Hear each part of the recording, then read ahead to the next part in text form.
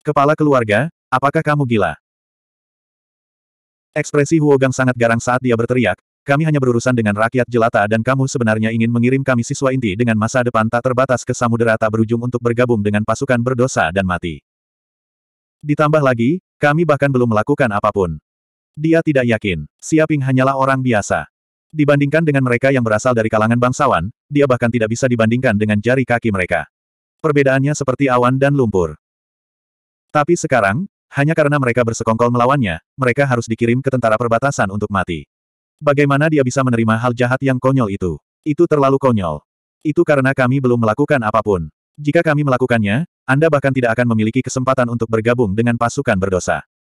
Kepala keluarga Huo berkata, dengan mengizinkanmu bergabung dengan pasukan berdosa sekarang, kami memberimu kesempatan untuk hidup. Jejak kebajikan dari perusahaan raksasa. Dia memandang kelompok siswa inti ini tanpa daya. Kebajikan, Pantatku. Ekspresi seorang siswa inti sangat garang ketika dia berkata dengan gila, kalian semua gila, benar-benar gila. Kami adalah siswa inti. Tahukah kalian apa itu siswa inti? Kita semua adalah orang jenius yang berpotensi menjadi raja. Namun, kalian semua mengirimi kami bibit raja untuk mati demi rakyat jelata. Kalian semua gila. Aku tidak akan mengikuti omong kosong kalian. Dia tidak yakin dan merasa hal seperti itu terlalu konyol. Kalian semua jenius dan berpotensi menjadi raja. Kepala keluarga Cao mengangguk, tetapi dibandingkan dengan Siaping, kamu bukan apa-apa. Dia memiliki potensi untuk menjadi raja yang tak terkalahkan. Kalian semua jenius yang digabungkan tidak akan bisa dibandingkan dengan dia. Itulah mengapa dia menelepon dan mengguncang perusahaan raksasa. Mereka akan melakukan yang terbaik untuk menghukum kalian semua. Kalian semua hanya bisa menurut. Tidak ada yang bisa kalian lakukan. Ini adalah kekuatan yang lemah. Nada suaranya kejam.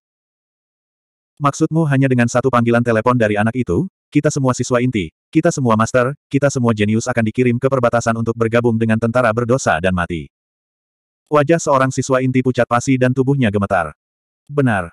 Kepala keluarga Cao mengangguk. Bahkan jika ada ribuan siswa inti di antara kita, kita masih tidak bisa dibandingkan dengan bajingan itu. Bahkan keluarga kita tidak bisa melindungi kita, dan kita hanya bisa diperlakukan sebagai pion pengorbanan. Cao Zhengbin mengepalkan tangannya erat-erat, jantungnya berdebar-debar. Kepala keluarga Cao menatapnya dalam-dalam dan mengangguk, benar. Saya tidak bisa menerima ini. Saya menolak menerima ini. Saya tidak bisa menerima ini. Satu persatu siswa inti mulai berteriak, wajah mereka berkerut dan mata melotot. Mereka semua tidak mau menerima hal ini. Suara mereka seperti guntur yang menusuk telinga, memecahkan kaca di sekitarnya, menunjukkan keengganan mereka untuk menerima hal ini. Tapi kalau dipikir-pikir, bagaimana mereka bisa diyakinkan? Di mata mereka, Siaping hanyalah dari pedesaan. Sekalipun dia punya bakat dan memenangkan kejuaraan, itu tidak berarti banyak. Mereka semua adalah murid inti, sekaligus keturunan raja. Masa depan mereka tidak terbatas, jadi kapan mereka pernah mengagumi orang-orang desa ini? Jika mereka menganggapnya tidak enak dipandang, mereka akan menggunakan otoritas mereka untuk menginjak-injak mereka sampai mati. Faktanya, mereka juga menggunakan kekuatan semacam ini untuk membunuh orang-orang jenius yang tak terhitung jumlahnya. Namun, rakyat jelata itu tidak memiliki kekuatan dan hanya bisa menelan amarah mereka. Tapi sekarang giliran mereka. Hanya satu panggilan telepon dari Siaping dan dia bahkan tidak perlu menunjukkan wajahnya. Namun, anggota keluarga mereka sudah gemetar ketakutan, berlutut dan memohon ampun. Siaping memperlakukan mereka seperti pion pengorbanan untuk menenangkan kemarahan perusahaan raksasa. Awalnya, mereka ingin menggunakan kekuatan mereka untuk menindas Siaping, tapi sekarang, mereka diintimidasi oleh Siaping menggunakan kekuatannya. Hanya dengan satu panggilan telepon dan bahkan tanpa bertemu mereka, mereka dikirim ke perbatasan dan dikirim untuk mati di tentara. Semudah menginjak semut. Setelah mendengar kata-kata ini, hati mereka menjadi sangat cemberut dan marah. Sejak kapan siswa inti seperti mereka jatuh ke kondisi seperti itu? Ini terlalu konyol. Kepala keluarga, masalah ini terlalu konyol. Ini hanya kejuaraan belaka. Apa gunanya ini? Kita semua jenius dengan potensi menjadi raja. Bagaimana kita bisa meninggalkan kita karena pelacur itu? Benar, karena masalah sekecil ini, kami terpaksa mati di laut tak berujung dan bahkan bergabung dengan tentara berdosa. Ini terlalu konyol. Saya pasti tidak akan menyetujui hal seperti itu. Apa gunanya perusahaan raksasa? Jika kita semua keluarga raja bergabung, kita masih bisa melawan mereka. Banyak siswa inti yang berteriak dengan gila-gilaan. Mereka sama sekali tidak bisa menerima hal seperti itu. Mengingat kembali saat mereka masih menjadi siswa inti dengan status dan kekuasaan tinggi, tinggal di kota manusia yang berkembang, makan dan minum dengan baik. Entah berapa banyak orang yang menyanjung mereka dan hidup mereka begitu nyaman. Namun di detik berikutnya, mereka dikirim ke laut tak berujung di mana bahkan burung pun bisa bertelur dan harus bergabung dengan tentara dosa untuk bertarung. Mereka tidak berbeda dengan tahanan. Situasi ini terlalu tragis. Kalian tidak mengerti. Kepala keluarga Cao menggelengkan kepalanya dan mengungkapkan sedikit kepahitan. Tiga kekuatan besar dunia cloud berada di atas organisasi seni bela diri dan bahkan pemerintah yang tak terhitung jumlahnya. Bagaimana mereka bisa begitu sederhana? Mereka biasanya seperti binatang yang sedang tidur. Tidak apa-apa jika kamu tidak membangunkan mereka, tapi begitu kamu membangunkannya, kamu harus menghadapi kemarahan mereka yang mengerikan. Jelas sekali, tindakanmu telah menyentuh garis bawah, skala sebaliknya, dan menyebabkan kehancuran. Kemarahan banyak raja. Dia tidak ingin melakukan hal seperti itu, tapi menghadapi monster sebesar itu, keluarga Cao tidak punya cara untuk melawan. Raja tingkatan tidak sama, ada juga tingkatan yang berbeda. Tuan dari keluarga Huo mengepalkan tangannya. Raja biasa hanyalah semut dengan peringkat rendah. Meskipun raja seperti itu bisa pamer di depan prajurit biasa, di depan raja alam tak terkalahkan, dia tidak lebih kuat dari semut. Dia hanya bisa membungkuk dan mengikis. Kemunculan raja yang tak terkalahkan di perusahaan raksasa saja sudah cukup untuk melenyapkan seluruh keluarga kita puluhan kali. Jadi, perbedaan antara jenius dan monster itu seperti awan dan lumpur. Di mata perusahaan raksasa, kalian sama saja dengan rumput liar di pinggir jalan. Wajar jika ratusan dari kalian mati. Kata-katanya sangat dingin. Kenyataannya, setelah maju ke alam raja, dia tahu betapa besarnya dunia ini.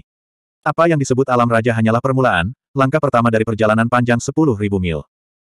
Tentu saja, jika dia tidak maju, itu tidak bisa dihitung sebagai permulaan. Status kita sama dengan rumput liar di pinggir jalan. Apakah normal jika ratusan dari kita mati? Mendengar ini, Huo Gang dan yang lainnya merasakan jantung mereka berdebar-debar. Mereka tidak berani percaya bahwa kepala keluarga Huo akan mengatakan hal seperti itu. Itu merupakan pukulan besar bagi kepercayaan diri mereka. Bawa mereka pergi. Kirim mereka ke laut tak berujung. Kami tidak ingin membuat orang-orang di kompi raksasa menunggu terlalu lama dan membuat mereka marah. Kepala keluarga Cao melambaikan tangannya, dan seketika, pria berbaju hitam muncul di dekatnya. Dengan cepat, mereka langsung bertindak dan menahan siswa inti ini. Kemudian, mereka memasang belenggu khusus dan langsung menekan budidaya mereka, mengubah mereka menjadi manusia. Mereka tidak bisa lagi menggunakan kibatin apa pun. 642. Melihat Huo Gang dan yang lainnya dibawa pergi, seorang kepala keluarga tidak tahan dan berkata, apakah kita hanya akan melihat mereka dibawa pergi dan dikirim ke laut tak berujung untuk menjadi tentara pendosa? Dia masih merasa bahwa terlalu berlebihan jika orang-orang jenius di keluarganya dikirim ke laut tak berujung. Jika kita tidak melakukan ini, apakah kita bisa meredakan kemarahan perusahaan raksasa? Kepala keluarga Huo bertanya. Orang-orang di sekitarnya terdiam. Jika mereka tidak melakukan ini, mereka pasti akan ditemukan oleh perusahaan raksasa. Begitu perusahaan raksasa mengetahui bahwa mereka menipu mereka, hukumannya tidak akan sesederhana itu. Mungkin seluruh keluarga mereka akan terluka parah. Juga, mengirim mereka ke laut tak berujung untuk berlatih bukanlah hal yang buruk. Kepala klan Chao berkata dengan lemah, mereka dilahirkan dalam klan besar dan terbiasa hidup seperti pangeran. Mereka tidak pernah mengalami sesuatu yang berbahaya. Jauh di lubuk hati mereka, mereka tidak memiliki keganasan seorang pejuang, aura tidak peduli. Kehidupan mereka, jika ini terus berlanjut, mereka tidak akan pernah bisa mencapai alam raja. Meskipun mereka memiliki bakat, itu hanyalah bakat. Ada banyak orang yang memiliki bakat tetapi tidak dapat mencapai alam raja. Tidak ada kekurangan orang yang biasa-biasa saja di dunia. Semua orang mengangguk. Setiap tahunnya banyak sekali mahasiswa yang menjadi mahasiswa inti di berbagai universitas. Namun, sebagian besar siswa inti ini tidak akan pernah bisa mencapai alam raja. Jika mereka ingin mencapai alam raja, hanya mengandalkan sumber daya saja tidak cukup. Mereka harus mengandalkan pemahaman mereka sendiri dan berbagai peluang. Tanpa peluang ini, wajar jika mereka terjebak dalam kemacetan selama sisa hidup mereka. Memang benar, jika mereka tidak menjadi raja, mereka akan selalu menjadi semut. Saya lebih suka mereka mati dalam pertempuran dengan ras monster daripada melihat mereka menjalani kehidupan yang biasa-biasa saja. Perjalanan ke laut tak berujung ini juga merupakan kesempatan bagi mereka. Kepala keluarga Huo juga mengangguk setuju. Tapi bagaimana dengan anak bernama Siaping itu? Kali ini, Gara-gara dia, keluarga kami menderita kerugian besar. Apakah kita akan membiarkannya begitu saja? Seorang kepala keluarga berkata dengan suara rendah. Kepala keluarga Cao merentangkan tangannya, jika kita tidak melepaskannya, apakah kita masih ingin mencari masalah dengannya? Saat ini, Siaping telah menjadi harta karun perusahaan raksasa. Ada orang yang mengawasinya setiap saat. Jika kami berani melakukan apa pun padanya, keesokan harinya keluarga kami akan hancur. Ini bukan lelucon. Nada suaranya sangat serius. Dia tidak ingin yang lain bertindak gegabah. Kepala keluarga lainnya mengangguk. Mereka semua tahu betapa menakutkannya perusahaan raksasa. Tentu saja, mereka tidak akan bertindak gegabah. Dan ini hanya masalah kecil. Kepala klan-klan Cao berkata dengan suara yang dalam, itu hanya sekelompok junior yang main-main di sini. Tidak perlu menaikkannya ke level musuh bebuyutan. Terlebih lagi, bahkan lebih tidak bijaksana untuk menjadi musuh dengan monster yang tak terbatas. Masa depan. Tidak apa-apa jika dia mati dalam perjalanan, tapi jika dia terus maju dan menjadi raja yang tak terkalahkan, maka inilah saatnya keluarga kita dihancurkan. Jangan gegabah.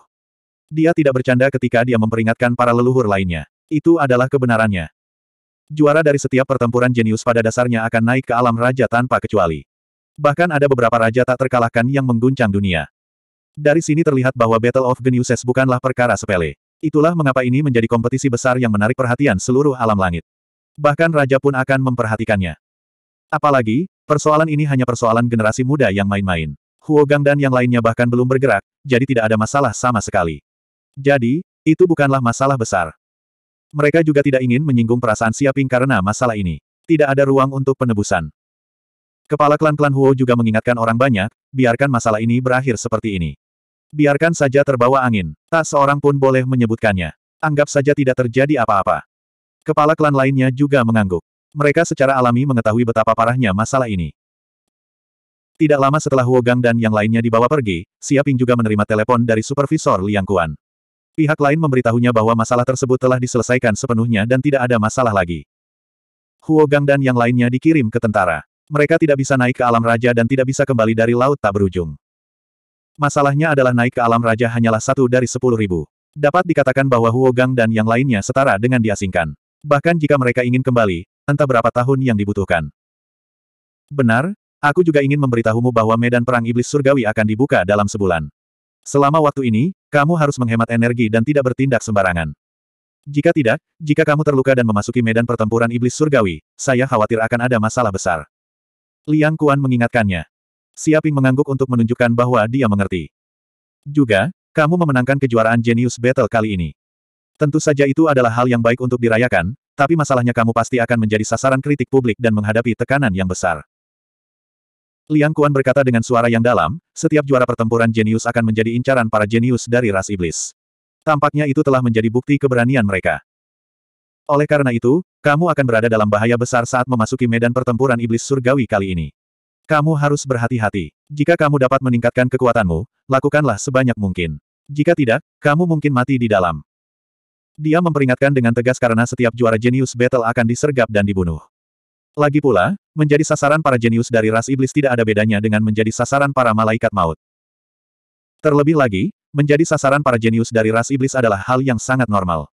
Bagaimanapun, setiap juara jenius battle memiliki potensi untuk menjadi raja yang tak terkalahkan. Begitu mereka dewasa, mereka pasti akan menjadi ancaman besar bagi ras iblis. Oleh karena itu, Demon Rache secara alami tidak akan sopan kepada Siaping. Mereka ingin menyingkirkannya sesegera mungkin. Banyak anggota Demon Rache bahkan telah mengeluarkan perintah untuk membunuhnya. Begitu berhasil, mereka akan memperoleh banyak keuntungan. Bagaimanapun, mereka tidak bisa membalas dendam atas apa pun yang terjadi di medan perang iblis surgawi. Sekalipun mereka mati, mereka akan mati sia-sia. Baiklah, mengerti. Siaping segera berubah menjadi serius. Dia tahu bahwa hanya ahli di bawah alam master bela diri yang bisa memasuki medan perang iblis surgawi. Para ahli di atas alam Grandmaster tidak bisa masuk, karena kekuatan mereka ada batasnya. Namun, setelah masuk, mereka dapat menerobos ke alam Grandmaster, meningkatkan kekuatan mereka secara signifikan. Medan perang Celestial Demon tidak membatasi orang-orang di dalamnya untuk meningkatkan kekuatan mereka. Ini adalah semacam aturan. Banyak master bela diri cakrawala ke-9 yang menerobos ke alam Grandmaster di medan pertempuran iblis surgawi, mendapatkan keuntungan besar. Meskipun Xiao Chen adalah master bela diri cakrawala ke-8 dan dapat menyapu bersih master bela diri, jika para jenius itu maju ke alam Grandmaster, kekuatan mereka akan mengalami perubahan yang luar biasa. Jika Xiao Chen ingin bertahan hidup di medan perang Celestial Demon, dia harus terus tumbuh lebih kuat. Akan lebih baik jika dia maju ke master bela diri cakrawala ke-9. Hanya dengan begitu dia akan percaya diri menghadapi para jenius dari ras iblis dan bahkan beberapa musuh dengan niat buruk. Baiklah, itu saja. Selama kamu mengerti, Liang Kuan tidak banyak bicara, karena dia merasa Siaping juga orang yang pintar. Dia akan mengerti setelah sedikit bimbingan. Tidak perlu bertele-tele. Setelah mengatakan ini, Liang Kuan menutup telepon. 643. Masalahnya adalah hanya dalam sebulan, sangat sulit untuk maju dari alam master bela diri tingkat 8 ke 9. Semakin lama, semakin banyak waktu yang dibutuhkan untuk maju ke level berikutnya. Adalah normal bagi sebagian orang untuk menghabiskan dua atau tiga tahun untuk maju dari alam master bela diri tingkat 8 ke alam master bela diri tingkat 9. Bahkan jika Siaping ingin maju dengan cepat, dia harus mempertimbangkan dasar seni bela dirinya. Jika dia maju terlalu cepat, fondasinya akan menjadi tidak stabil dan itu akan menjadi hambatan besar untuk maju ke alam raja. Oleh karena itu, dia tidak ingin terlalu cepat. Seperti kata pepatah, tergesa-gesa menghasilkan sampah. Sistem, apakah Anda punya cara untuk meningkatkan kekuatan tempur saya saat ini? Memikirkan hal ini, Siaping langsung bertanya. Dia merasa sistem kebencian super pada dirinya hanyalah legenda seni bela diri. Itu mungkin jauh lebih tinggi dari King Rilem. Jika dia bertanya, dia mungkin mendapat saran bagus. Sistem mengatakan, Anda perlu mengeluarkan 100 ribu poin kebencian untuk menanyakannya. Memeriksa, Siaping sangat kaya. Dia memiliki 60 juta poin kebencian pada dirinya. Tidak peduli bagaimana dia menghabiskannya. Bagaimanapun, dia akan terus mendapatkannya. Dia yang terbaik dalam menarik kebencian. Dengan bunyi bip, sistem berkata, menurut pengujian, tuan rumah memiliki harta karun lonceng penyerap jiwa. Jika dia mengembangkan teknik budidaya tiada taraf yang cocok dengan lonceng penyerap jiwa, itu akan sangat meningkatkan kekuatan tuan rumah. Teknik budidaya tiada taraf. Apa itu? Siaping segera bertanya. Sistem mengatakan, teknik budidaya gelombang suara, King Level Peerless, yang disebut Epic of Heaven Incomplete, membutuhkan 15 juta poin kebencian. 15 juta poin kebencian. Mendengar ini, Siaping juga kaget. Dia tidak menyangka sebuah teknik kultivasi membutuhkan biaya sebesar itu. Namun, jika teknik budidaya ditingkatkan satu tingkat, kekuatannya akan meningkat secara eksponensial, dan nilainya juga akan terbalik. Wajar jika biayanya lebih dari 10 juta poin kebencian. Sebaliknya jika poin kebenciannya rendah, itu membuktikan bahwa teknik budidaya ini tidak terlalu ampuh. Epik surga, teknik budidaya gelombang suara macam apa ini? Tanya Siaping. Sistem menjelaskan, ini adalah partitur musik. Saat Anda mengedarkan Qigong dan memainkan epik surga, itu akan menghasilkan ilusi mental. Jika kekuatan mental seorang pencaksilat tidak cukup kuat, ia akan langsung tenggelam, seolah-olah telah naik ke surga, dan tanpa disadari jiwanya akan terbebas.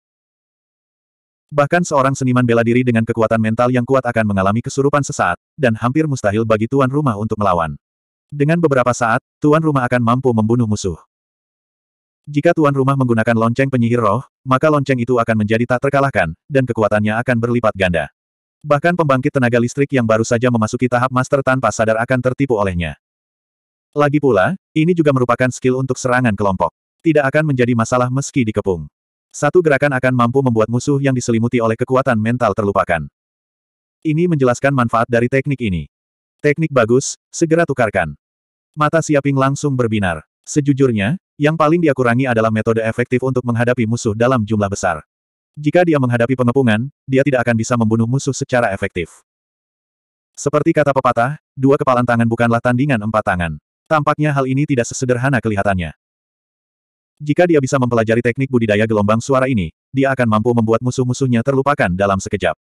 Lalu, tidak peduli berapa banyak dari mereka yang bergabung, dia akan dapat dengan mudah membunuh mereka semua. Ini akan sangat meningkatkan efektivitas tempurnya. Gemuruh gelombang-gelombang-gelombang. Pada saat ini, arus hangat langsung mengalir ke pikiran Siaping. Tubuhnya bergetar seolah not-not musik diputar di kedalaman pikirannya. Ini adalah sebuah karya musik. Saat Epic of Heaven dimainkan, Siaping merasa sekelilingnya telah berubah. Seolah-olah dia berada di surga dan sekelilingnya adalah hamparan putih yang luas. Matahari putih muncul di langit, memancarkan cahaya suci hangat yang menyinari lubuk jiwanya. Ia merasa hangat, seolah seluruh dosa dalam hidupnya telah diampuni. Dia merasa sangat nyaman. Banyak malaikat muncul di sekitarnya. Mereka memiliki sayap putih dan setiap bulunya mengandung energi suci. Seolah-olah mereka sedang memegang Alkitab di tangan mereka. Mereka mengelilinginya dan terus-menerus membacakan Alkitab, seolah-olah mereka sedang berdoa memohon berkah. Saat ini, Jiwanya sepertinya telah mengalami perubahan besar. Sayap putih tumbuh di punggungnya, mengubahnya menjadi bidadari. Pada saat ini, Siaping sepertinya benar-benar terlupakan. Dia merasa seolah-olah telah memasuki surga. Hatinya dipenuhi dengan kepuasan dan kebahagiaan. Semua kekhawatirannya lenyap saat ini. Saat ini, dia hanya ingin tinggal di surga, terbang bebas dan menikmati surga ini. Bang! Setelah jangka waktu yang tidak diketahui, ketika Epic of Heaven dimainkan, Siaping merasa seolah-olah seluruh dunia telah runtuh. Dengan suara kaca, bagian tengahnya retak seperti kaca. Dan dia jatuh dari surga dan kembali ke dunia nyata. Teknik kultivasi yang sangat kuat. Pada saat ini, Siaping akhirnya sadar kembali. Dia terkejut. Bahkan dengan kemauannya yang kuat, dia sebenarnya telah jatuh ke dalam epik surga. Ketika lagu ilahi dimainkan, segala macam perasaan indah muncul di hatinya. Dia benar-benar tenggelam di dalamnya. Meskipun dia tahu ini hanyalah ilusi, dia tidak tega untuk pergi. Yang dia inginkan hanyalah terbebas, masuk surga, menjadi bidadari, dan menikmati kebahagiaan dunia manusia. Jika musik naga langit merupakan teknik budidaya gelombang suara yang menyerang, maka musik tersebut akan mengandung kekuatan penghancur yang tak tertandingi. Kekuatan gelombang suara cukup kuat untuk menembus emas dan memecahkan batu. Itu tidak bisa dihancurkan. Adapun Epic of Heaven, itu adalah teknik budidaya gelombang suara yang menipu. Itu dapat merusak pikiran seseorang dan mempengaruhi jiwa seseorang. Meski tidak memiliki kekuatan membunuh yang mengerikan, ia bisa membunuh tanpa meninggalkan jejak. Seringkali, musuh jatuh ke dalam kegelapan tanpa mengetahui apa yang sedang terjadi, tenggelam dalam terlupakan selamanya. Jika digunakan dengan harta karun seperti Soul Suking Bell, kekuatannya akan meningkat beberapa kali lipat. Bahkan seorang ahli yang baru saja memasuki alam master akan tertipu jika mereka tidak berhati-hati. Bahkan jiwa mereka pun akan terpengaruh. Apalagi pada dasarnya mencakup suatu area. Tidak peduli berapa banyak orang yang datang, itu tidak ada gunanya. Seperti yang diharapkan dari teknik budidaya tingkat raja yang tak tertandingi. Ini sangat kuat. Siaping sangat terkejut, tetapi pada saat yang sama, dia merasa senang. 15 juta poin kebencian sangat berharga. Diperkirakan tidak akan ada teknik budidaya gelombang suara seperti itu di seluruh Cloud Realm. Itu terlalu aneh dan kuat. Itu bisa membunuh orang tanpa meninggalkan jejak. Sekarang, kekuatan mentalnya sangat kuat, cukup untuk menempuh jarak 2 atau 3 kilometer. Tentu saja, jika dia ingin menampilkan Epic of Heaven, dia harus menekan kekuatan mentalnya secara gila-gilaan agar bisa memainkan perannya. Mungkin jangkauan Epic of Heaven hanya 100 meter. Meski begitu, itu sudah cukup. Jika seseorang berani melangkah dalam jarak 100 meter darinya, bahkan seorang ahli di Master Realm mungkin akan jatuh dalam sekejap. Saat ini, dia bisa mengambil kesempatan untuk membunuh mereka. 644. Pada saat yang sama, berita tentang Siaping menjadi juara pertarungan jenius telah menyebar ke setiap sudut Cloud Realm, terutama ke klan seni bela diri. Mereka semua mulai mengambil tindakan. Aku tidak menyangka pemenang pertarungan jenius tahun ini adalah orang biasa dan bukan jenius dari klan yang berdaulat. Benar-benar membuka mata, keluh seseorang. Pertarungan jenius telah diadakan berkali-kali, dan hampir setiap saat, seorang jenius dari klan berdaulatlah yang menang. Hampir mustahil bagi rakyat jelata untuk menonjol dan menjadi juara. Belum lagi bakat, hanya saja sumber daya yang mereka miliki tidak berada pada level yang sama. Rakyat jelata harus bersusah payah menyerap energi spiritual dunia, namun anggota klan yang berdaulat bisa dengan santai meminum pil. Satu pil setara dengan beberapa bulan budidaya para jenius biasa. Bagaimana mereka bisa bersaing? Baguslah kalau dia adalah orang biasa. Ini membuktikan bahwa pemuda ini adalah talenta yang tiada taranya. Dia adalah penguasa masa depan. Jika klan kita bisa bersatu dengannya melalui pernikahan, bukankah kita akan mempunyai pendukung yang besar? Seseorang ingin mengirim putrinya untuk menikah dengan Siaping. Bagaimanapun, siapa pun yang memiliki mata yang tajam dapat melihat bahwa masa depan Siaping cerah, dan jika tidak ada hal tak terduga yang terjadi, maka kemajuan ke alam raja adalah suatu kepastian. Jika mereka bisa mempertahankan dukungan kuat ini, bukankah mereka akan bisa menjalani kehidupan yang baik di masa depan? Dia tidak bisa membayangkan bagaimana rasanya jika ada penguasa yang mendukung klan mereka. Mereka dapat melakukan apa pun yang mereka inginkan di alam cloud, dan tidak banyak orang yang berani memprovokasi mereka. Tapi menurut selentingan, anak itu kelihatannya sangat bermoral. Aku tidak tahu berapa banyak pacar yang dia miliki, dan dia bahkan ingin mendekati gurunya. Seseorang bertanya tentang sisi gelap Siaping. Dia masih muda, jadi wajar kalau dia berdarah panas. Bersikap tidak bermoral adalah sifat laki-laki. Dia hanya sedikit eksplisit dan tidak pendiam. Itu benar. Wajar jika seorang penguasa mempunyai banyak wanita di sisinya. Saat ini, murid dari klan besar yang memiliki sedikit kemampuan semuanya memiliki banyak istri dan selir. Meskipun mereka hanya memiliki istri di permukaan, mereka memiliki banyak kekasih dalam kegelapan. Ini tidak aneh sama sekali. Akan aneh jika dia tidak melakukannya. Aku bertanya-tanya apakah ada yang salah dengan dirinya di area itu. Bagaimanapun, tidak peduli seperti apa kepribadiannya, kuncinya adalah mampu menjalin hubungan dengan seorang jenius dengan masa depan cerah.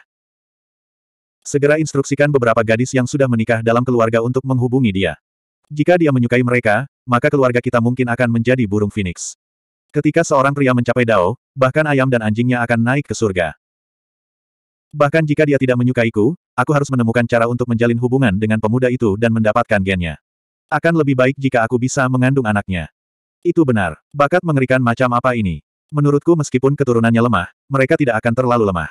Jika mereka memiliki keturunan dengan bakat seorang raja, bukankah klan kita akan menjadi surga? Menentang, ini lebih baik daripada bisnis lainnya. Memang benar, ini adalah bisnis yang menguntungkan. Tokoh besar dunia seni bela diri yang tak terhitung jumlahnya sedang mendiskusikan masalah ini.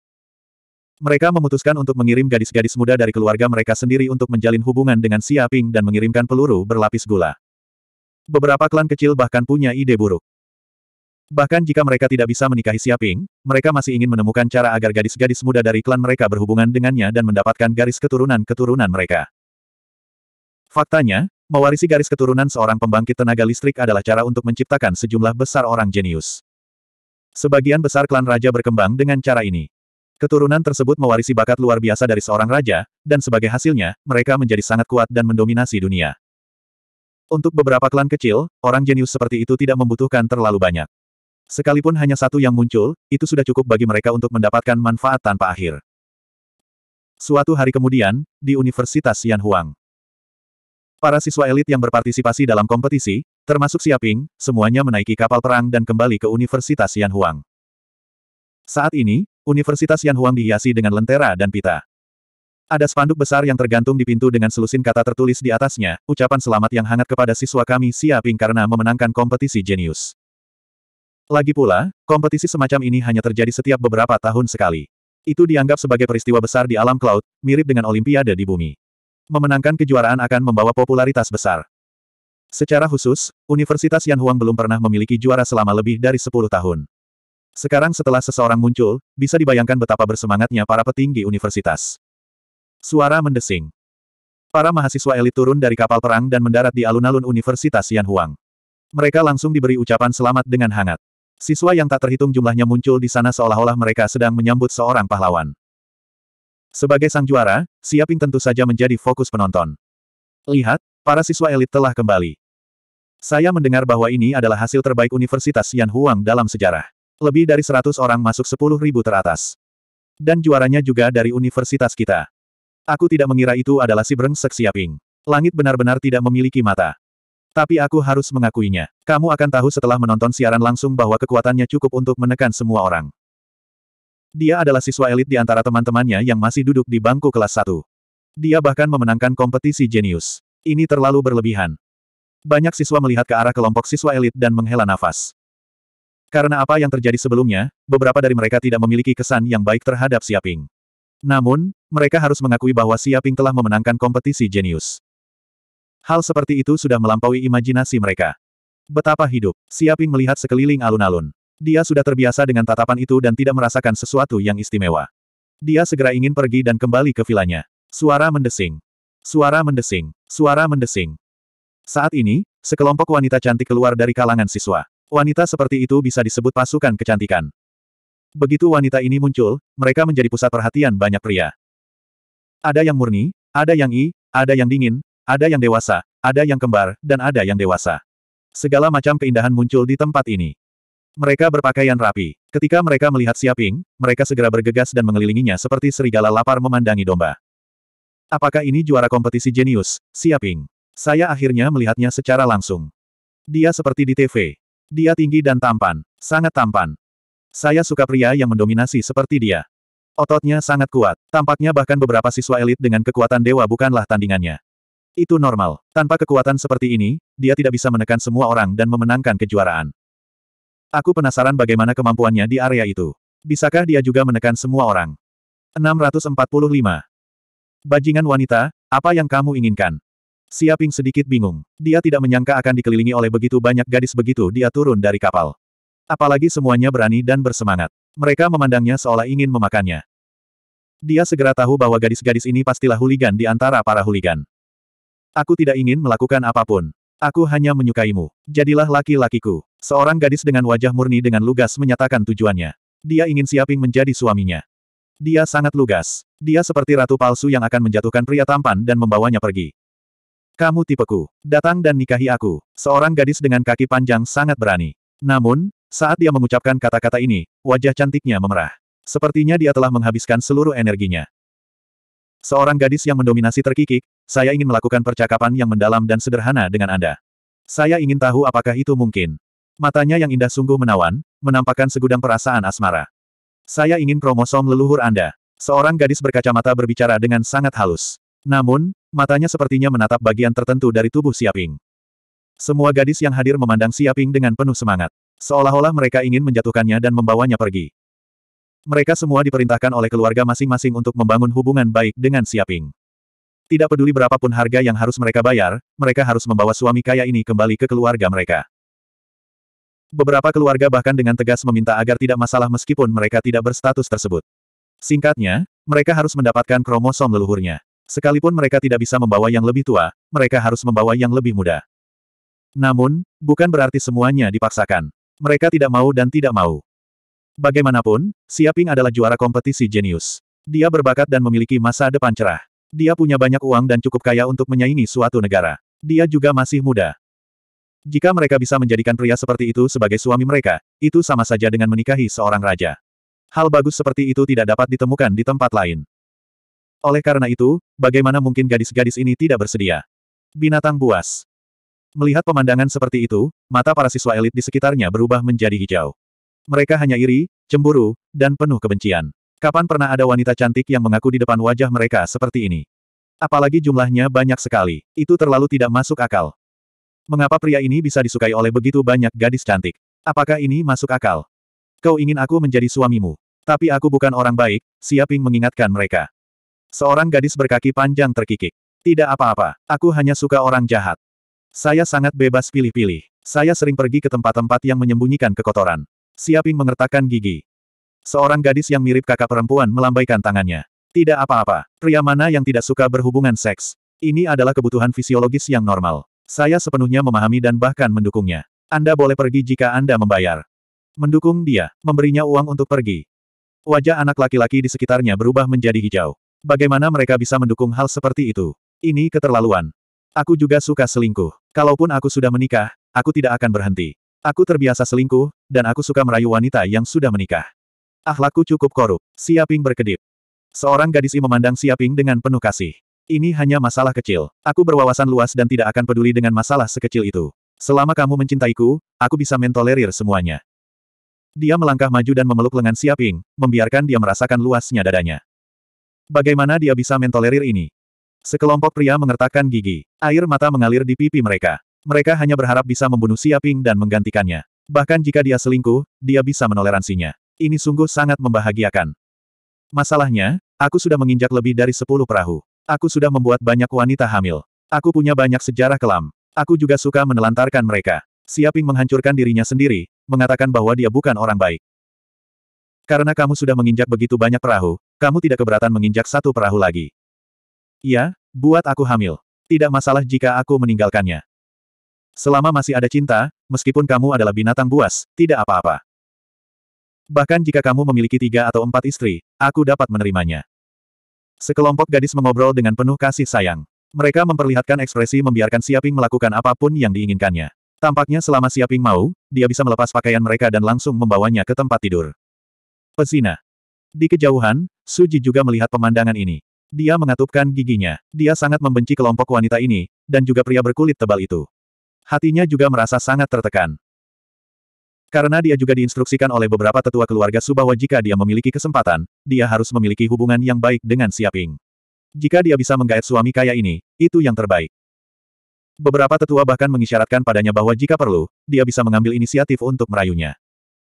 Mendengar kata-kata ini, dia meledak marah. Dia adalah putri surga yang bermartabat dan bangga. Bagaimana dia bisa melakukan hal yang tidak tahu malu? Bagaimana dia bisa menikah dengan bajingan yang tidak tahu malu? Bukankah ini jelas-jelas memintanya untuk jatuh ke dalam lubang api? Namun, dia tidak bisa melanggar perintah tetua keluarga Su. Jadi, dia buru-buru datang ke sini untuk memberikan penjelasan kepada keluarganya. Dia tidak menyangka akan menghadapi hal seperti itu. Itu terlalu menjijikan. Apa bagusnya bajingan ini? Kenapa mereka begitu tidak tahu malu? Mereka bahkan tidak memiliki martabat seorang wanita. Betapa tercela. Suji meledak marah. Dia ingin sekali memukul Siaping dengan batu bata. Di saat yang sama, dia juga ingin memarahi wanita tak tahu malu itu. Tidak bisa berbuat apa-apa. Siapa yang menyuruhnya menjadi orang penting? Benar, menjadi juara kompetisi jenius merupakan sebuah prestasi yang luar biasa. Di masa depan, dia pasti akan menjadi raja. Masa depannya tidak terbatas. Siapa yang tidak ingin menikah dengan seorang raja? Begitu dia berhasil, dia pasti akan menikmati kejayaan, kemegahan, dan kekayaan seumur hidup. Bukannya saya tidak bisa memahami pemikiran para wanita ini. Di zaman sekarang ini, meski Anda menikah, Anda mungkin masih akan bercerai. Sekalipun Anda saling mencintai, Anda mungkin masih berselingkuh setelah menikah. Jangan berpikir bahwa perselingkuhan ada hubungannya dengan kaya atau tidaknya pria tersebut. Bahkan orang miskin pun akan berselingkuh. Itu benar, karena itu masalahnya, tidak masalah siapa yang kamu nikahi. Mengapa tidak menikah dengan seseorang dari keluarga yang lebih baik? Dengan cara ini, bahkan jika kamu bercerai, kamu masih dapat membagi sebagian dari harta benda dan hidup lebih baik. Kehidupan. Jika Anda menikah dengan seorang raja, itu adalah kekayaan yang besar. Sungguh luar biasa. Bahkan ayam dan anjing pun bisa naik ke surga. Gadis-gadis di sekitar Suji mengobrol dengan penuh emosi. Kalian. Suji mengertakkan gigi. Dia tidak menyangka kalau teman-temannya akan mulai memberontak satu persatu. Mereka semua mulai membela pria tak tahu malu itu. Kita harus tahu bahwa sebelumnya, merekalah yang ingin membunuh Siaping, ingin membunuh orang bejat ini. Namun sejak Siaping menjadi siswa elit dan sekarang menjadi juara kompetisi jenius, masing-masing dari mereka mengubah sikapnya. Mereka sepertinya ingin Siaping mengambil tanggung jawab. 646. Mendengar ini, Suji tiba-tiba putus asa. Dia tahu bahwa saudara perempuannya telah dicuci otak sepenuhnya oleh bajingan itu. Selain itu, saudara perempuannya mungkin sangat dipengaruhi dan ditekan oleh keluarga mereka. Jika dia tidak ada di sini untuk menekan mereka, mereka mungkin juga seperti kelompok wanita Sao, terbang seperti ngengat menuju api. Saat ini, ketika Siaping mendengar kata-kata ini, matanya tiba-tiba berbinar. Meski ia tidak tahu kenapa para wanita ini begitu ingin menikah dengannya, bahkan rela memiliki tiga atau empat selir, namun tidak ada alasan untuk tidak memakan daging yang diantarkan ke rumahnya. Sekalipun itu peluru berlapis gula, dia akan memakan lapisan gula tersebut dan mengirim pelurunya kembali. Dia terbatuk dan dengan jujur berkata, Ahem, ada terlalu banyak orang di sini. Mengapa kita tidak kembali ke villa saya dan membicarakannya secara detail? Tentu saja jangan salah paham, kita hanya berbicara. Bicaralah. Para siswa di sekitarnya memamerkan gigi mereka. Begitu para wanita ini memasuki villa Anda, bukankah itu seperti domba memasuki sarang serigala?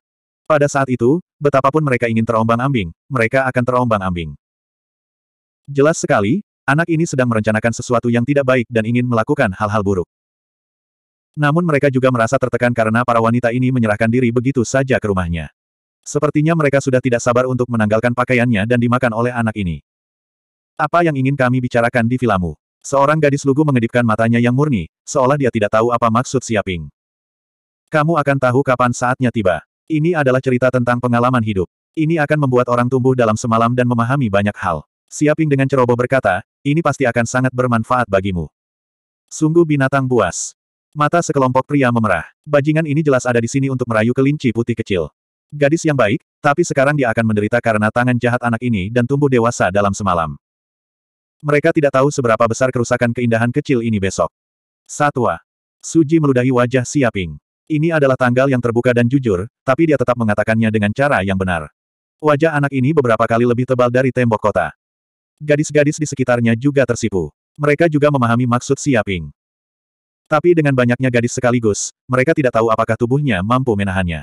Bukankah dia takut mati karena ejakulasi berlebihan? Lebih baik melakukan hal semacam ini dalam jumlah sedang. Pergi ke vilamu. Iya, tentu saja. Ku dengar itu villa di kawasan elit. Aku penasaran betapa indahnya itu. Aku sudah lama ingin pergi ke sana. Aku paling suka mengobrol. Jika saatnya tiba, kamu harus memberitahuku tentang perbuatan muliamu. Benar, jangan mencoba sesuatu yang lucu. Dia wanita yang lemah. Jika kamu menggunakan kekerasan, kamu tidak akan bisa menolaknya. Lalu tunggu apa lagi? Ayo cepat pergi. Mata banyak wanita berbinar. Ini adalah peluang besar. Selain itu, mereka bisa berbagi kamar dengan Siaping. Pada saat itu, bukankah mudah membayangkan apa yang akan terjadi? Jika mereka mengambil kesempatan ini untuk memakan orang ini, mereka akan kaya. Memikirkan hal ini, mereka semua menjadi gelisah dan tidak sabar. Kenapa kamu pergi? Beraninya kamu melakukan hal kotor seperti itu di siang hari bolong. Apakah rasa kesopanan dan kehormatanmu telah dimakan anjing? Tiba-tiba, suara gemuruh terdengar. Suhu seluruh dunia sepertinya turun puluhan derajat. Seolah-olah dunia es dan salju telah turun. Arus dingin yang mengerikan menyelimuti sekeliling. Tanah sepertinya membeku. Kepingan salju besar berjatuhan dari langit. Itu adalah hamparan putih yang luas. Semua orang tidak bisa menahan diri untuk tidak menggigil. Tubuh mereka gemetar dan merinding. Kemudian, seorang wanita berpakaian putih terbang dari jauh dan mendarat di depan Siaping dan yang lainnya. Wanita ini adalah Kyuksu. Wanita yang sangat cantik. Seorang anak laki-laki dengan potongan cepak langsung tergila-gila dan menjadi penggemar beratnya. Dia merasa seperti sedang jatuh cinta saat ini dan tidak bisa melepaskan diri. Tak hanya siswi berpotongan cepak ini, banyak juga siswi yang hadir yang memperlihatkan ekspresi kagum. Wanita ini sangat cantik, temperamennya luar biasa, seperti peri. Meskipun ada banyak gadis cantik yang hadir, dibandingkan dengan dia, mereka seperti burung pegar dibandingkan burung phoenix. Kyuksu, ini murid inti Kyuksu. Jadi itu kakak senior Kyuksu yang terkenal. Pantas saja dia begitu cantik. Tentu saja, dia dan Sumei dikenal sebagai berlian Universitas Yan Huang. Dikatakan bahwa kakak senior Kyuksu sepertinya memiliki skandal dengan Siaping. Keduanya memiliki hubungan yang tak terlukiskan. Dia pasti ada di sini untuk menangkap pesinah itu. Sekarang orang itu sudah mati. Dia ditangkap di tempat tidur oleh istri-istri istana. Dia akan kehilangan dua lapisan kulit. Yang terbaik adalah menyingkirkan sumber masalahnya. Itulah akhirnya, jangan sampai dia terus menyakiti wanita yang tidak bersalah. Sekelompok siswa tiba-tiba menunjukkan ekspresi Sadenfrude. Mereka sedang menonton pertunjukan yang bagus. Sekarang bahkan pacar yang dirumorkan telah datang. Mereka tidak tahu bagaimana orang ini akan dihukum. Kakak senior Kyuksu. Gadis-gadis di sekitar juga terkejut. Mereka tidak menyangka Kyuksu yang terkenal juga akan datang. Mereka tiba-tiba kaget. Di hadapan sosok seperti Dewi, mereka tiba-tiba punya nyali. Kamu boleh pergi. Ada yang ingin aku bicarakan dengannya. Kyuksu melambai ke sekelompok gadis dan berkata dengan lugas. Setelah itu, dia meraih Siaping. Terlepas dari apakah Siaping mau atau tidak, dia langsung meraihnya dan terbang ke udara. Siaping. Sekelompok gadis berseru. Tapi Kyuksu adalah seorang ahli di puncak Grandmaster. Bagaimana mereka bisa membandingkannya dengan dia? Sebelum mereka sempat bereaksi, Siaping menghilang dari tempatnya. Dan hanya ada sekelompok siswa yang tersisa di tempat kejadian, saling memandang, bingung. Haha, bajingan kecil ini akan sial. Dia pasti akan diberi pelajaran keras oleh kakak senior Kyuksu. Dia sangat tidak tahu malu membiarkan dia berhubungan seks di mana pun. Melihat situasi ini, Suji merasa sangat nyaman. Dia berpikir bahwa perilaku Siaping pasti membuat marah Kyuksu, jadi dia dibawa pergi untuk diberi pelajaran. Dia sangat menantikan untuk melihat penampilan Siaping yang menyedihkan setelah diberi pelajaran. Pada saat ini, di atap gedung pengajaran di Universitas Yan Huang, Kyuksu tiba-tiba meraih Siaping dan membawanya ke tempat ini. Tidak ada siswa di sekitar, dan tempat itu sangat kosong. Sayang, kenapa kamu mengajakku pergi? Apa kamu iri karena banyak wanita yang ingin memakanku? Tapi yakinlah, meskipun mereka bisa mendapatkan tubuhku, mereka tidak bisa mendapatkan hatiku. Aku sangat mencintaimu. Siaping berkata sembarangan, menunjukkan bahwa dia sangat mencintai Kyuksu. Bahkan jika dia dihina oleh sekelompok huligan wanita, hatinya tetap tidak berubah. Langit dan bulan bisa dilihat. Siapa yang akan cemburu? Jangan bicara omong kosong. 647. Yah, kalau kamu bilang kamu tidak cemburu, maka sebenarnya tidak. Siaping mengangguk, menunjukkan bahwa dia mengerti. Lagi pula, setiap orang yang terlihat jelas akan sedikit marah. Dia tidak akan mengambil tindakan terlalu jauh. Ada apa dengan tatapan itu? Kyuksu merasa malu dan kesal. Apa yang bajingan ini katakan? Dia jelas tidak berpikir seperti itu. Tapi dalam sekejap, dia sepertinya memikirkan sebuah masalah. Dia segera berkata dengan bangga, apakah kamu sangat marah karena aku merusak waktu baikmu, jadi kamu mengatakan ini membuatku marah. Awalnya, dia ingin mencari Siaping kapan saja, tetapi melihat sekelompok wanita mengelilingi Siaping, dia sebenarnya berani secara terbuka meminta Pao di sini. Itu benar-benar tidak tahu malu. Jika suasana seperti ini dibiarkan menyebar, akan jadi apa seluruh Universitas Yan Huang. Sebelumnya, saat masih duduk di bangku SMA, bocah nakal ini mulai merusak suasana sekolah. Dia tidak menyangka bahwa dia akan mulai melakukan hal yang sama ketika dia masuk universitas. Sebagai seorang guru, dia segera berdiri untuk menghentikan perilaku tidak tahu malu tersebut. Tidak apa-apa, aku bisa mengajak mereka kencan kapan pun aku mau, dan aku sudah punya informasi kontak mereka. Siaping tersenyum tipis. Baru saja, para wanita itu tidak kenal lelah. Dia tidak tahu metode apa yang mereka gunakan, tapi mereka benar-benar menemukan nomor teleponnya. Mereka semua mengirim pesan kepadanya satu persatu, berharap bisa berteman dengannya. Bajingan. Kyuksu mengertakkan gigi. Dia tercengang. Dia tidak menyangka wanita-wanita itu akan berhubungan dengan Siaping begitu cepat dan bahkan mendapatkan informasi kontaknya. Dia langsung merasakan ledakan amarah. Bukankah ini berarti apa yang dia lakukan tidak ada gunanya? Hehe, pria ini benar-benar huligan super. Dengan suara deras, sesosok muncul. Udara dipenuhi aroma menyenangkan, seperti mawar, seperti bunga plum. Bahkan parfum ternama dunia pun tidak bisa menandinginya. Sosok anggun ini segera muncul di depan Siaping. Sosoknya sangat i, dan dia sangat menawan. Dia hanyalah seekor rubah betina menggoda yang bisa memikat orang sampai mati. Istri Sumei juga ada di sini. Siaping juga mengenali identitas wanita ini. Mendengar ini, Wajah Sumei menjadi gelap. Dia ingin memukulnya. Mulut anjing huligan ini tidak bisa mengeluarkan gading. Baiklah, jangan banyak bicara. Ada yang ingin kubicarakan denganmu. Kyuksu tidak bisa berkata-kata. Kecil ini masih sama seperti sebelumnya. Ia berpikir setelah menjadi juara, dengan tanggung jawab, ia akan lebih tenang. Dia tidak menyangka pria itu akan tetap menyebalkan. Namun, melihat Sumei dikalahkan masih membuatnya merasa senang. Ada yang ingin kamu bicarakan denganku. Apa itu? Siaping bertanya dengan rasa ingin tahu. Mendengar hal ini, Kyuksu berkata dengan serius, kamu telah banyak membantuku dalam pertarungan para jenius ini, sehingga aku bisa mendapatkan beberapa keuntungan. Sebagai imbalannya, aku ingin memberitahumu sebuah informasi sebagai imbalannya. Banyak membantumu. Kapan aku membantumu? Siaping sangat bingung. Dia sepertinya belum pernah bertemu Kyuksu selama pertarungan jenius, jadi bagaimana dia membantunya? Kamu tidak perlu tahu bagaimana cara membantu. Kyuksu tidak akan dengan bodohnya mengungkapkan masalah pertaruhannya dengan banyak siswa inti. Kalau tidak, dia pasti akan diperas oleh bocah nakal ini dan memeras uang.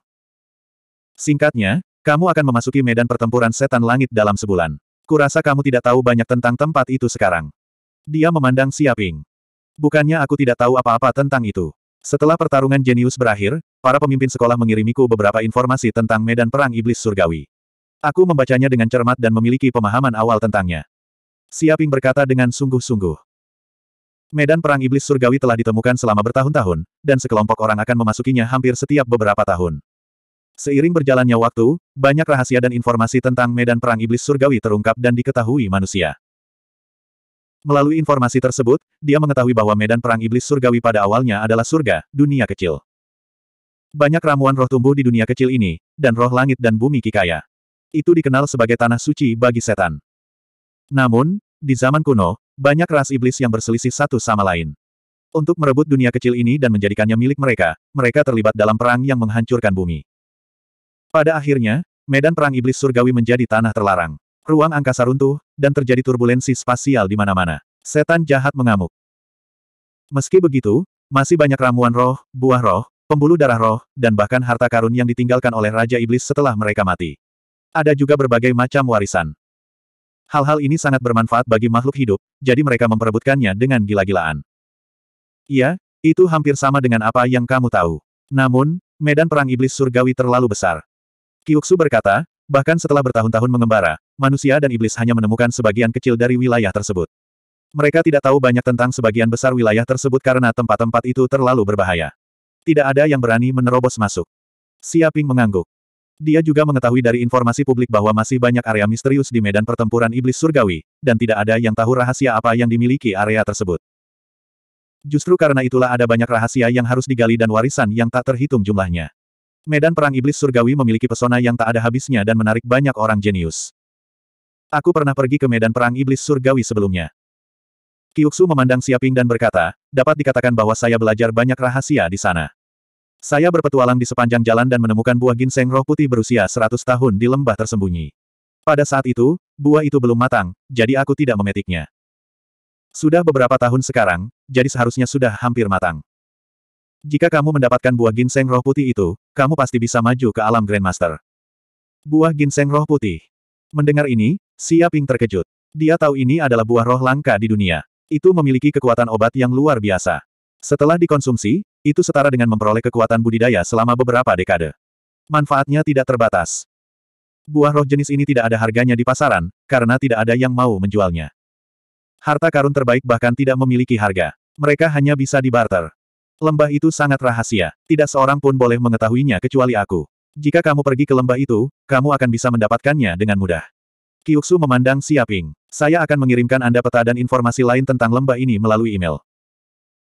Kemudian, dia juga berbicara tentang beberapa hal yang perlu diperhatikan di medan perang iblis surgawi, serta banyak tempat berbahaya. Jika seseorang secara tidak sengaja masuk, bahkan seorang Grandmaster pun akan mati. Ini adalah pengalaman orang-orang yang telah memasuki medan perang iblis surgawi. Itu sangat berharga. Itu adalah bahaya yang tidak dapat ditunjukkan dalam informasi. Ini sangat bermanfaat bagi Siaping dan dapat dianggap memiliki pemahaman sistematis tentang medan perang iblis surgawi. Yah, itu saja. Ini yang aku tahu. Kyuksu berkata dengan suara yang dalam, saya tidak dapat membantu Anda apa pun yang terjadi. Saya harap Anda dapat memperoleh panen yang baik di medan perang iblis surgawi. Yang terpenting, jangan mati di tangan iblis-iblis itu. Setelah berbicara, dia menatap Siaping dalam-dalam dan berbalik untuk pergi. 648. Pada saat ini, Gunung Seribu Monster adalah gunung suci ras monster. Namun, itu tidak hanya mewakili satu gunung besar. Itu adalah pegunungan berkelanjutan yang mencakup area seluas puluhan ribu kilometer. Gunung-gunung itu sangat megah dan mencapai awan. Semua raja dan keturunannya tinggal di pegunungan ini. Itu adalah tanah suci ras monster. Pada saat yang sama, di salah satu puncak gunung-gunung seribu monster, terdapat sebuah istana raksasa. Banyak ras monster jenius berkumpul di dalam. Mereka semua jenius dari berbagai ras. Hasil pertarungan kejeniusan manusia telah keluar. Pemenangnya tampaknya adalah manusia bernama Siaping. Orang yang berbicara adalah seekor singa emas. Besar sekali, tingginya 4-5 meter. Keempat kukunya berdiri di tanah, tampak sangat kuat. Bulunya berwarna emas seolah terbuat dari emas. Matanya bersinar dan untaian cahaya kemasan turun dari langit, bersinar terang. Monster Ki yang menakutkan menyebar dari tubuhnya seolah-olah semua monster harus tunduk padanya. Manusia Siaping. Kudengar dia sangat terkenal. Dia baru berusia 18 tahun dan dikenal sebagai juara termuda dalam sejarah. Dia bahkan membunuh Scorpion Tertin dan membuat marah Raja Kala Jengking Hitam. Ia memiliki potensi untuk menjadi raja yang tidak terkalahkan. Seekor kura-kura besar sedang berbaring malas di tanah. Tubuhnya juga sangat besar, dengan diameter 10 meter. Tampaknya ada banyak pola bintang yang terukir di cangkangnya. Meski saat itu siang hari, sepertinya ada cahaya biru yang jatuh dari langit, beresonansi dengan tubuhnya. Setiap napas membutuhkan ki spiritual dalam jumlah besar. Ini adalah Starlight Turtle yang terkenal. Dikatakan bahwa ini adalah ras penyu terkuat di bawah langit. Setelah hidup selama 10.000 tahun, ia dapat melakukan perjalanan di angkasa sendirian. Pertahanannya juga sangat menakutkan. Kalaupun terkena meteorit, tidak akan rusak sama sekali. Kedengarannya enak. Aku penasaran seperti apa rasa daging dan darahnya. Setelah memakannya, mungkin budidaya saya akan meningkat pesat. Ada meja batu besar di depan mereka. Seekor harimau sedang duduk di kursi. Namun, Makanan di atas meja bukanlah makanan manusia. Sebaliknya, itu adalah potongan logam. Setiap bagian memiliki berat ribuan kilogram. Namun, harimau ganas ini tampak sedang menyantap makanan ringan. Ia melemparkan logam itu ke dalam mulutnya dan mulai mengunyahnya. Ekspresinya tampak sangat lesat. Ini adalah harimau logam, dan makanan utamanya adalah logam. Semakin banyak logam yang dimakannya, semakin langka logam yang dimakannya, maka akan semakin kuat jadinya. Keke, sayang sekali memakannya. Sebaiknya aku menangkapnya dan menjadikannya budakku. Dengan manusia dengan potensi tak terbatas sebagai budak perangku, dia pasti akan sangat membantu di masa depan. Di kejauhan, di atas pohon yang tingginya ratusan meter, seekor burung gagak hitam terkekeh. Tubuhnya dipenuhi aura hitam dan tidak menyenangkan. Tampaknya hal itu menyebabkan pepohonan di sekitarnya layu dan kekuatan hidup mereka hilang. Ini adalah gagak kemalangan, dan ia memiliki kemampuan untuk mengendalikan aura kematian. Makhluk hidup mana pun yang bertemu dengan gagak kemalangan ini pada dasarnya akan mati, dan nenek moyangnya telah meninggalkan legenda mengerikan yang tak terhitung jumlahnya. Menjadi pelayan perang, saya tidak percaya Anda benar-benar memikirkan hal ini. Apakah kamu tidak takut Raja Manusia akan mundur? Orang yang berbicara adalah Kera Guntur. Ia memegang batang logam di tangannya, dan otot-otot di sekujur tubuhnya membengkak, sepertinya mengandung kekuatan yang menakutkan. Dari waktu ke waktu, untaian energi guntur akan menempel di sekitar tubuhnya, mengeluarkan suara berderak. Dengan tubuhnya sebagai pusatnya, tidak ada monster yang berani mendekat dalam jarak 10 meter darinya, seolah-olah mereka takut mati tersengat listrik. Monster di sekitarnya sangat takut dengan kera guntur ini. Hehe, jika mereka ingin mundur, mundurlah. Mungkinkah mereka bisa berjuang menuju gunung monster segudang? Terlebih lagi, apa pun yang terjadi di medan perang iblis surgawi, para raja tidak dapat ikut campur. Ini aturannya, kecuali mereka ingin memulai perang antara ras manusia dan ras monster. Gagak kesialan tertawa. Ia tidak peduli sama sekali, karena kekuatannya yang mengandalkan perang dan kematian berkembang pesat. Dapat dikatakan bahwa mereka adalah pendukung perang terbesar. Jika mereka bisa memulai perang karena hal ini, maka keadaannya tidak akan lebih baik lagi. Persis seperti yang diinginkannya. Menarik. Aku tidak menyangka kamu, gagak kesialan, juga ingin menangkapnya dan menjadikannya budakmu. Tapi sayangnya, aku juga menyukainya. Dia mangsaku, raksasa bermata tiga. Makhluk humanoid setinggi 4 hingga 5 meter berdiri. Seluruh tubuhnya memancarkan aura mulia, seolah-olah dia adalah dewa. Ada mata ketiga di dahinya, dan sepasang sayap besar muncul di punggungnya. Ia berdiri di tempatnya, seolah-olah itu adalah gunung yang menjulang tinggi yang tidak dapat dilampaui oleh siapa pun. Melihat mata semua orang, ia tinggi dan perkasa, seolah-olah ia tidak peduli dengan monster apa pun sama sekali. Bermata tiga, kamu ingin bertarung denganku, gagak kemalangan. Apakah kamu ingin mati? Gagak kemalangan menyipitkan matanya, dan tubuhnya memancarkan aura kematian. Pohon tempat ia tinggal dengan cepat layu, berubah menjadi pohon mati. Energi kehidupannya tersedot seluruhnya, dan bahkan tanah berubah menjadi tanah hitam, memancarkan aura pembusukan. Kamu mau mati. Raksasa bermata tiga mencibir, kamu, gagak kemalangan, berpikir kamu memenuhi syarat. Orang lain mungkin takut padamu, tapi aku, raksasa bermata tiga, tidak. Jika Anda punya nyali, datang dan bertarung. Itu saling bertentangan gayung bersambut. Menarik, kamu berani memprovokasiku, gagak kemalangan. Sepertinya kamu ingin mati sekarang. Gagak kesialan tertawa dengan kejam. Sepertinya dia juga marah. Aura hitam melonjak, dan awan hitam tampak melayang di langit, menutupi matahari. Monster lain berdiri di samping dengan tenang, seolah-olah mereka sedang menonton pertunjukan yang bagus.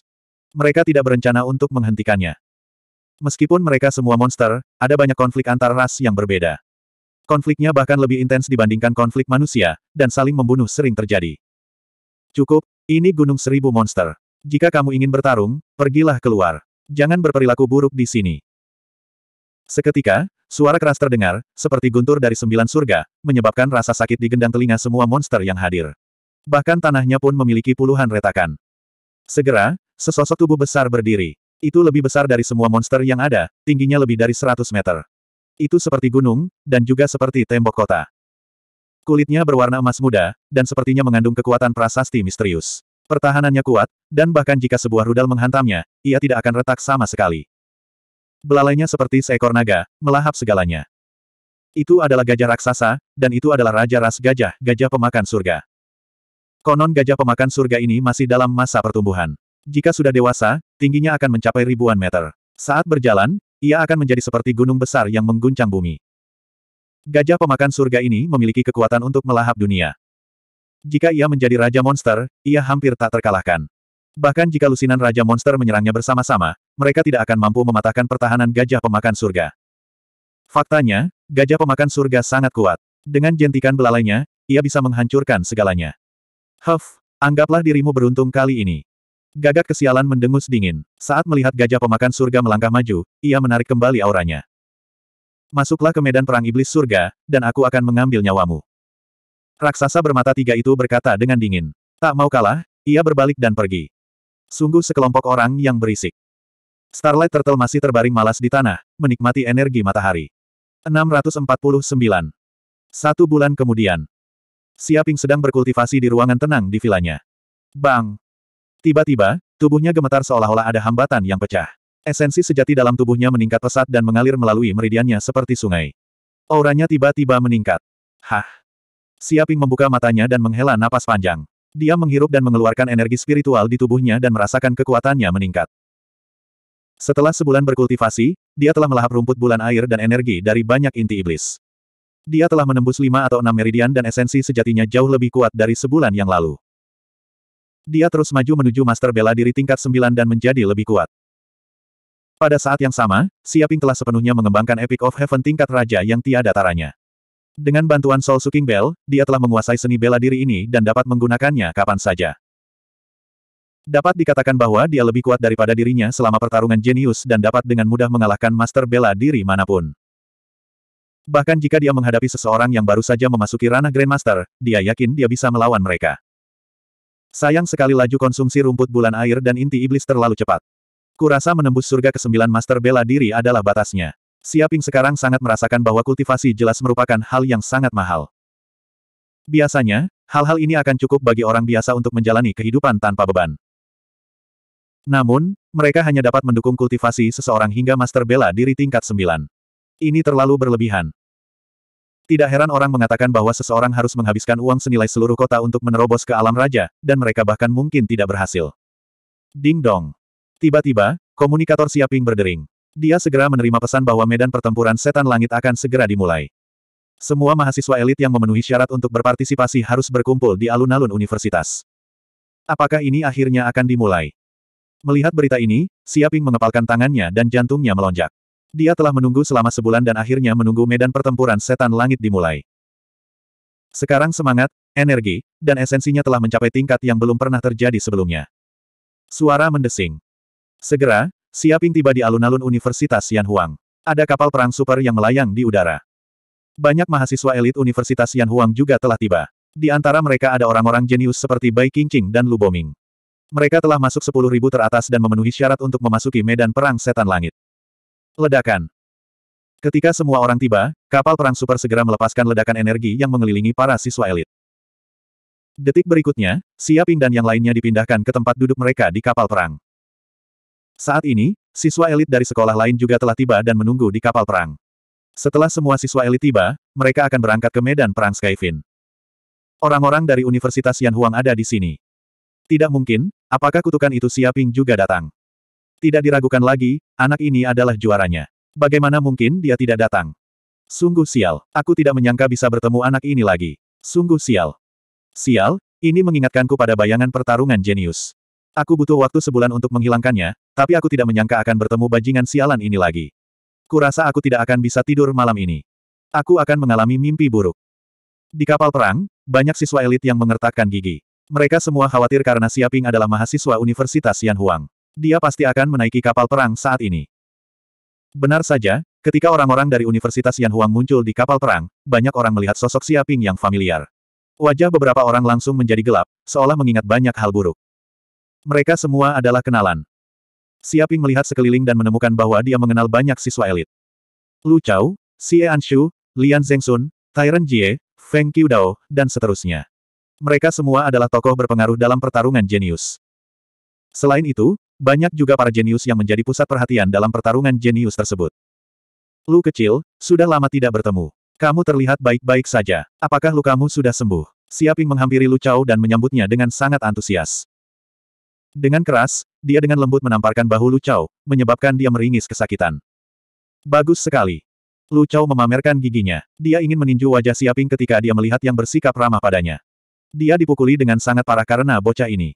Beraninya dia bertanya di sini apakah lukanya sudah sembuh. Apakah ini tidak mengejeknya? Apalagi yang bisa terjadi? Dia bahkan memanggilnya Lu kecil. Apakah bajingan ini mengenalnya? Terlebih lagi, Meskipun dia memiliki tubuh Vajra tak terkalahkan, terkena telapak tangan itu tetap saja terasa sakit. Saya baik-baik saja. Tapi tidak peduli apa, Siaping tetaplah sosok yang berpengaruh, seorang jenius yang tiada taraf. Tidak sopan jika tidak menjawab, jadi dia hanya bisa dengan paksa memberikan jawaban seperti itu. Siaping tidak keberatan, karena dia melihat Jia Ziji di sampingnya. Ia berkata, Jia kecil, tampaknya vitalitasmu juga tidak buruk. Aku masih ingat pertandingan terakhir kali. Tebasan gelombang sembilan pedang itu sangat kuat. Bisakah kau mengajariku? Dia berkedip. Ajari aku. Jia Ziji ingin meludahi wajahnya. Tebasan gelombang sembilan pedang miliknya adalah rahasia tingkat raja. Dia tidak akan mengungkapkannya tidak peduli berapa banyak uang yang dia punya. Anak ini berkulit sangat tebal. Dia ingin dia mengajarinya. Bermimpilah.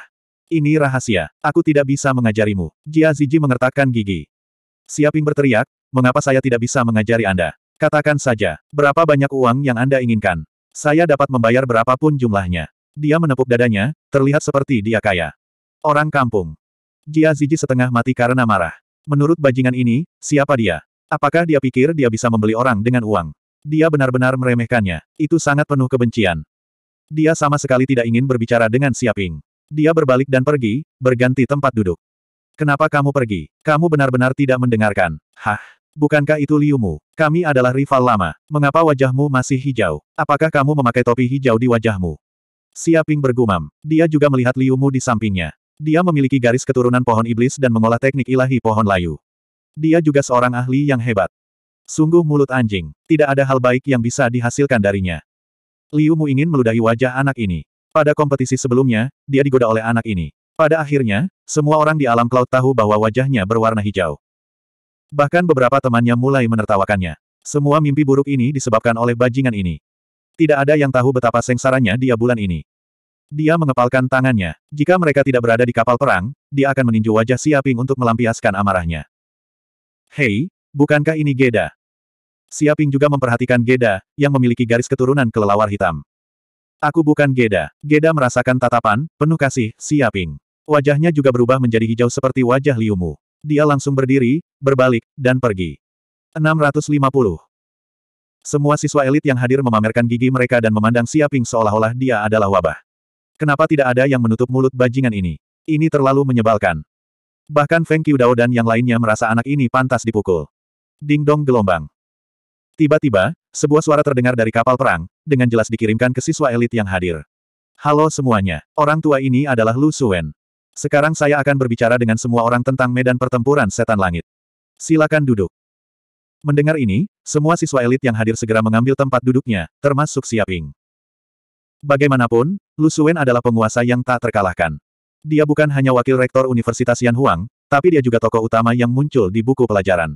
Tidak ada yang berani mengabaikan kata-kata dari karakter seperti itu. Sangat bagus.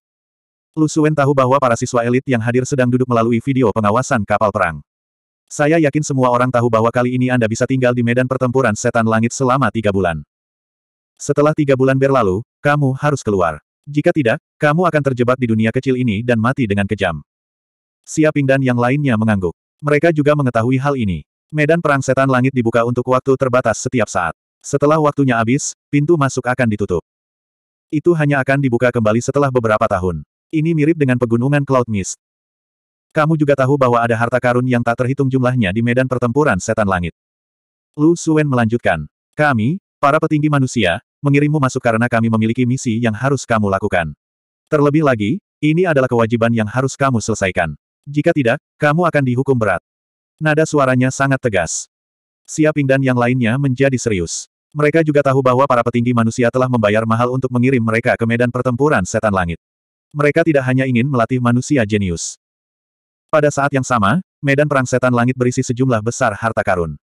Harta karun ini sangat bermanfaat bahkan bagi para penguasa.